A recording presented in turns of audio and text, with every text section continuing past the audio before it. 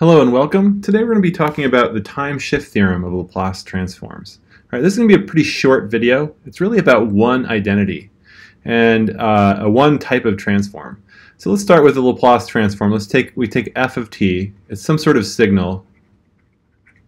Right, if I were to draw a graph of it, of course it has a domain for just the positive times, so at time zero, and we don't care about anything after that. We don't even we won't even consider it. And maybe it's something like this.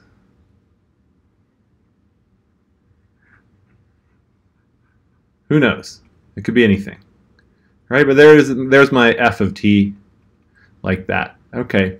So one thing that's we like to do often in Laplace transform is we might want to shift this in time. So for instance, I might have a t minus a, where a is some positive number, right? And then we're going to have a graph like this.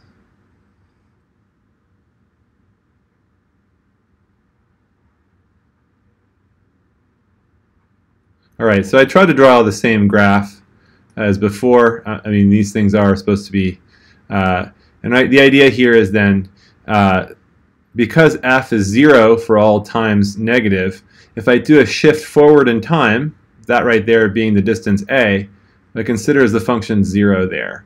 So the idea here is now this function f of t minus a, oops, f minus t, t minus a, uh, turns on turns on at time equals a now. Okay, so we want to have a way of dealing with this. So if I know how to take the Laplace transform of f by itself, f of t, and that's equal to capital F of s, the question then is, how do I take the Laplace transform of t minus a. How do I do that? Well, the answer is pretty straightforward, and that's the time shift theorem. And we're going to basically prove it, and then you can use this formula for every, every time you see something like this. So the idea here is that f of t minus a, uh, it's 0 for all those times there. So what I'm going to do is then I'm actually going to re-express this as actually f of t minus a times the heaviside of t minus a. Right, remember the heaviside is 0 for all times less than a uh, for this particular expression. And that just kind of does, it's a little housekeeping here to make that work.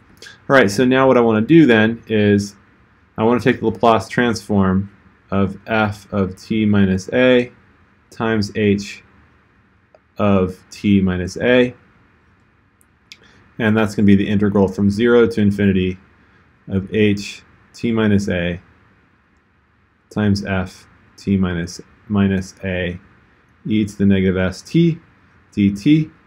And without much extra work, you can find out that really we could set this integral up to be uh, just f of t minus a starting at a, e to the negative s t dt.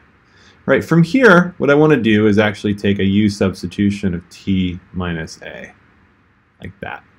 Right, and that means du is equal to dt, but also that t is going to be equal to u plus a. All right, so if I put this all in, if I change variables now, it's going to start at 0 again, because essentially I'm putting a right there, right? And it's going to go to infinity, just like before. But now we're going to write f of u. Every time there's a t minus a, I put a u in its place. But then what I'm going to do is actually, every where I put a, there's a t here, I have to put a u plus a. And that's going to be a u negative s a e to the negative s u. Okay, d u. Well, I can keep going along here and actually pull out this term right there, that factor there has nothing to do with u in it, so it's going to go e to the negative s a integral 0 to infinity of f u e to the negative s u du. And this thing right there, uh, we can see that's actually just capital F of s, the Laplace transform. So the identity is s times a f of s. All right, so we've actually found a way to compute this. So I'm going to go to the next page and just re-express this same fact again. What we found is if Laplace transform of f of t is equal to capital F of s. That's already been computed. We know what it is. Okay. Uh, then, then Laplace transform of the Heaviside t minus a, and this is for a positive. It could be for a negative too, but I'll just think of time shifts to the right. f of t minus a. We can write this as now e to the negative s times a times capital F of s. And this is that time uh, shift theorem. Okay. All right, so the, the question then is, you know, what's the application of this?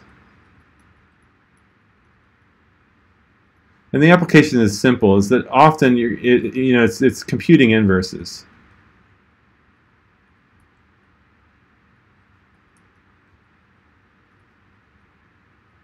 Okay, for instance, what if I have a, uh, I'll call it, uh, I'll call it g of s, and it's I see an e to the negative 3 s, okay, times 4 all over s squared plus 16. All right. Uh, I want to now, the, the, the question that I have then is, I want to take the inverse Laplace transform of g of s. I want to find out what g of t is. Okay, I don't know the answer to that. Right, but I see that there is this e to the negative 3s. Right, so I can write g then is e to the negative 3s times uh, 4 over s squared plus 16. And this looks like the Laplace transform of sine 4t, right? And this is the idea that omega is equal to 4, right? All right. If that's if this is so, if I can recognize that this is a transform that I that I'm familiar with, then then I know this is just going to be a time shifted version of it. So I know that Laplace, the inverse Laplace transform of g then has to be equal to uh, uh, uh, sine 4t. Um, now the question then is sine 4t, but what are we going to do? We're going to actually now shift time by uh, 3, right, like that.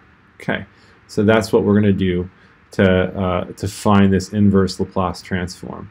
So the idea here is that if sine uh, 4t is equal to f of t, and Laplace transform of sine uh, uh, 4t, we know that from the Laplace transform tables that that's going to be this, uh, 4 squared, which is 16.